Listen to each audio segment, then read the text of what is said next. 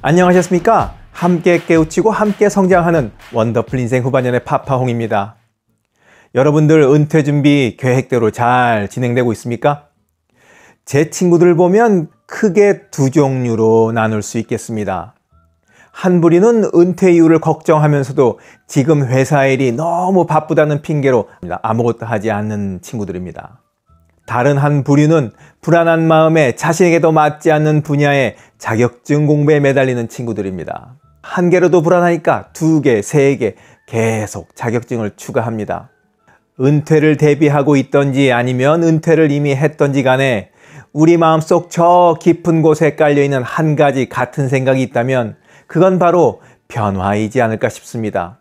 지금까지 살아왔던 것과는 조금 더 다른 인생, 보람찬 인생, 활기찬 인생, 경제적인 윤택한 인생을 살고 싶다는 변화와 열망 말입니다. 그래서 오늘은 이런 마음을 가진 분들을 위해 영상을 만들었습니다. 50대 중반 찜질방 매점 이모에서 불과 1년 6개월 만에 경제적 자유를 얻기 시작한 한 분의 사례를 들어가면서 오늘 이야기 풀어가 보겠습니다. 자, 본격적인 이야기 지금 시작합니다.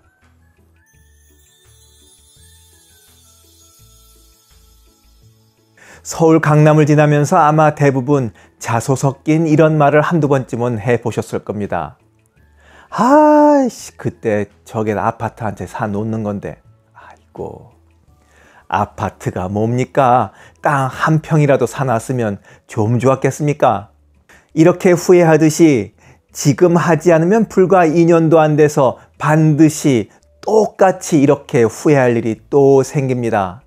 그때 강남에 아파트 사두지 않았던 것처럼 말입니다. 자, 뭔지 하나하나 들어보시겠습니까? 지금부터 하지 않으면 2년 뒤 반드시 후회하게 될 일. 첫 번째, 책 읽고 글쓰기. 변화의 열망은 가슴에 가득한데 뭘 어디서부터 시작해야 될지 모르겠다면 무조건 책 읽기부터 시작하는 것이 정답입니다. 이미 우리와 같은 고민을 했고 나름의 해결책으로 난제를 헤쳐온 사람들의 성공담이 책 속에 있습니다. 그래서 책 속에 길이 있다고 하지 않습니까?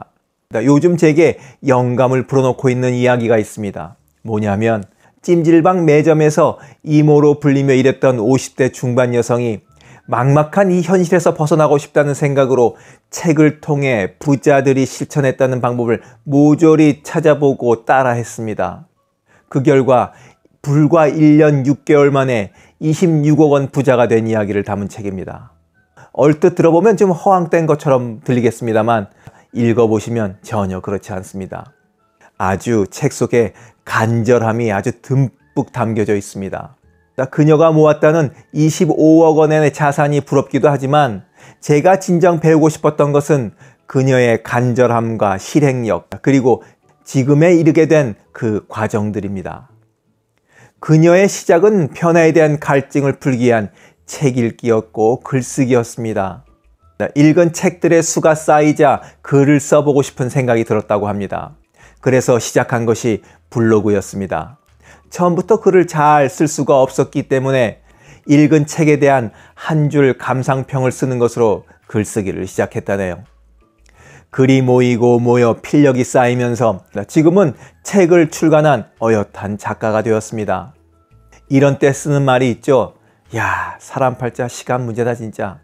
여러분들도 막막한 현실에서 벗어나고 싶다면 책 읽고 블로그에 글을 써보는 것을 시작으로 길을 열어보시길 추천드립니다. 그러는 너는 책을 읽고 글을 쓰냐고 질문하신다면 아이고, 제가 영상에서 말씀드린 이야기가 다 어디서 나왔겠습니까? 그리고 영상을 만드는 것은 기본적으로 글쓰기에서부터 시작되는 것이고요. 영상에 있는 내용을 책으로 내보자고 제안을 받은 출판사가 벌써 여섯 군데가 넘었습니다. 그러니까 여러분, 누가 내 글을 읽고 공감해 줄까 이런 생각은 일단 접어두시고 자신을 위해 읽고 또 글을 써보시기 바랍니다. 그리고 2년 뒤 여러분들의 블로그가 얼마나 성장했는지 보신다면 감회가 새로우실 겁니다. 아, 그때 파파홍 얘기 듣기를 잘했다. 이렇게 말씀하실 거예요.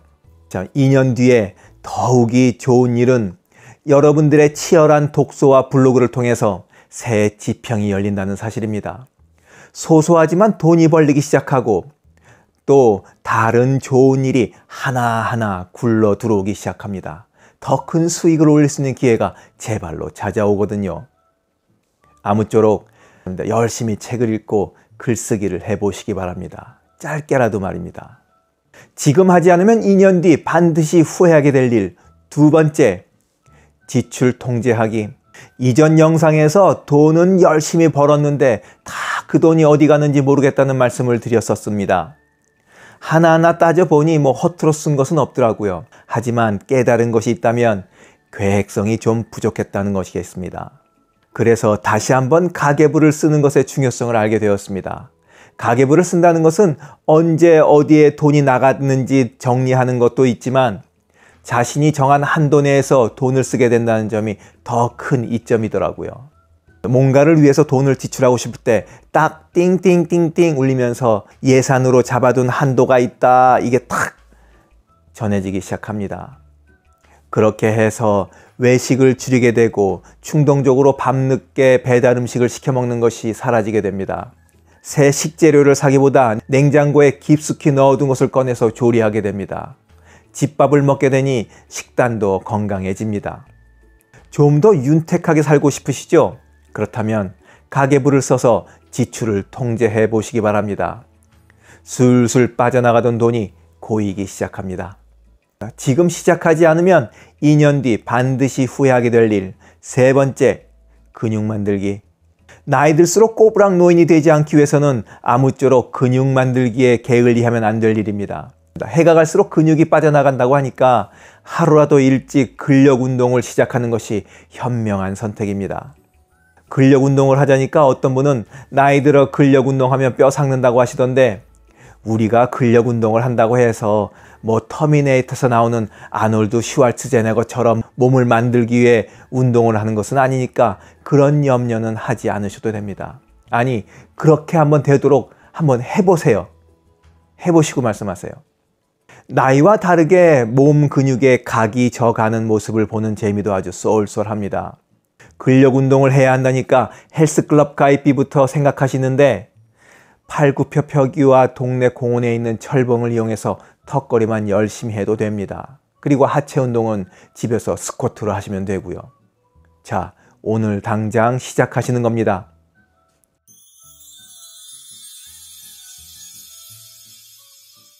지금 하지 않으면 1년도 아니고 2년 뒤에 후회할 거라는 근거는 대체 뭐냐 궁금해 하실 수도 있겠습니다.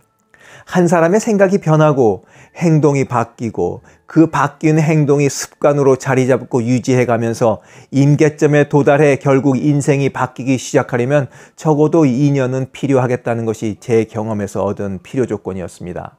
아무리 못해도 2년은 치열하게 도전하며 버텨야 비로소 우리 인생에서 질적인 변화에 싹이 트기 시작하더라고요.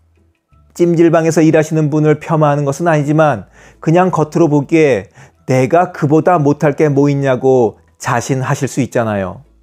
그렇죠? 그렇다면 여러분들도 인생을 변화시켜서 경제적 자유의 길로 들어설 수 있다는 겁니다. 그분도 하셨는데 우리라고 못할 게 뭐 있겠습니까? 영상을 보신 모든 분들이 경제적 자유를 누리며 살아가시길 바라면서 오늘 이야기 마치도록 하겠습니다. 원더풀 인생 후반년에 후회 없는 인생은 계속됩니다. 감사합니다.